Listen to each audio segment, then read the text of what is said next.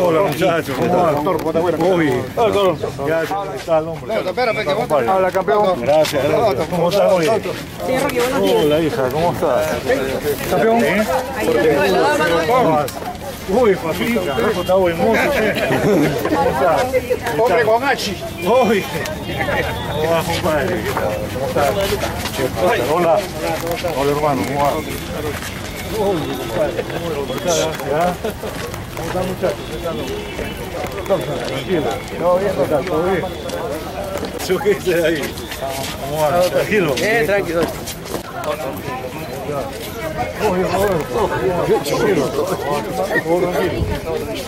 Vamos, la misma mesa, ¿no?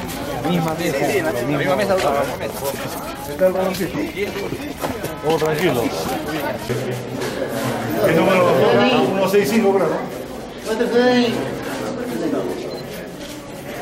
Acá, doctor, doctor, por acá. Otro por acá, otro por acá. Estamos, muchachos. Estamos ahí está. 165, pesa, pesa. ¿Puede pasar? Toca la otra.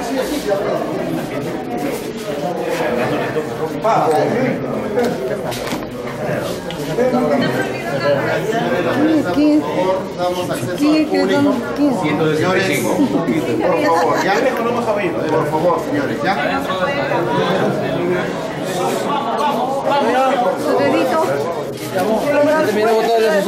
Su dedito. Terminamos todo el asesor de día. Su huella digital.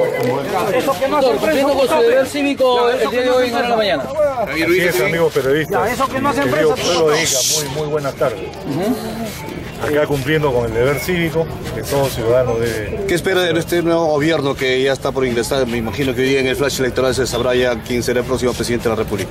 Bueno, respecto al flash, yo les pido también cautela porque como ustedes ven las cosas están Muy pegada. apretadas. Entonces, tanto los simpatizantes de uno como de otro, esperar un poquito, que ya un conteo Pero ¿cuál es la rápido. expectativa que tiene usted, doctor?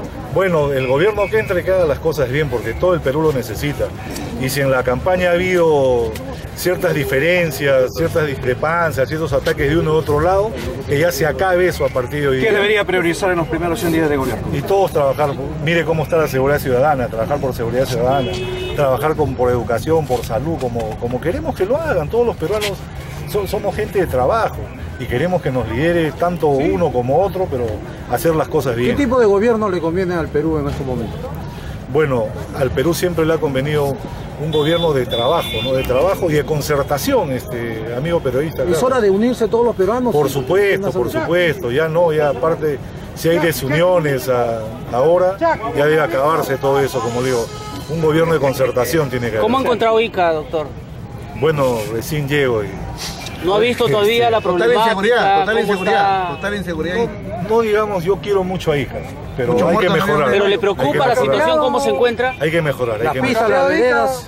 Hay que mejorar, hay que mejorar. ¿Cómo está la Hay que economía del Perú? ¿Qué debe continuar para la economía del Perú, eh, sabiendo de que esto es el eje de todo un desarrollo de un país? De un país? Bueno, darle bastante facilidades a los, a los inversionistas para que la economía... Eh, Ustedes saben que nosotros somos agroexportadores y también vivimos de la minería y los minerales han bajado, el petróleo ha bajado, la, la agroexportación un poco que se ha detenido.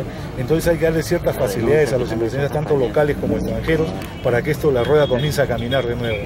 Y la economía, porque al caminar la rueda hay trabajo para todos y todo, todo camina, todo es una rueda, todos los sectores se desarrollan. Este, la decisión que el pueblo tome el día de hoy. Hay que esperar con calma, con lío, con cautela, esperar el flash y después del flash el conteo rápido. Doctor, ¿cree que el gobierno de Ollantumala ha decepcionado a toda la población peruana? No hay que comentar eso ahorita, vamos a, vamos hoy día es un día de paz, de reflexión y hay que votar bien con ¿Cuál cree usted, doctor, que es el principal problema que tenga que afrontar el nuevo presidente de la República? Bueno, lo primero, como dije antes, la seguridad ciudadana. Tienen que cambiar eso. Hacer bastante inteligencia, que es lo que falta. Señor Rocky, aparte del tema de la seguridad, la educación, ¿está de acuerdo que vuelve el servicio militar obligatorio? Bueno, yo le diré que creo que usted no sé si yo, pero el que le habla sí hacíamos servicio el IPM desde el colegio y los jóvenes se enfocaban bastante a eso. ¿eh? Yo sí ¿Había estaría en lo disciplina? personal de acuerdo, yo sí estaría de acuerdo. Había mayor disciplina. Esperamos verlo de protagonista en las próximas elecciones. Ahorita vamos a votar y vamos a ver qué Que pasa. no arrugue, que no arrugue. no arrugue. Muchas gracias. Un mensaje para los iqueños, Rocky. Bueno, que tengan fe y confianza y que el gobierno que entra a ayudarlos todos de diferentes eh, colores políticos que tengamos para que el Perú salga adelante. Y a mi pueblo iqueño muchos saludos como Bien, siempre. por otro lado- Muchas gracias y siempre van a tener mi apoyo. Vamos a coordinar casos. Yo les agradezco que hayan pensado.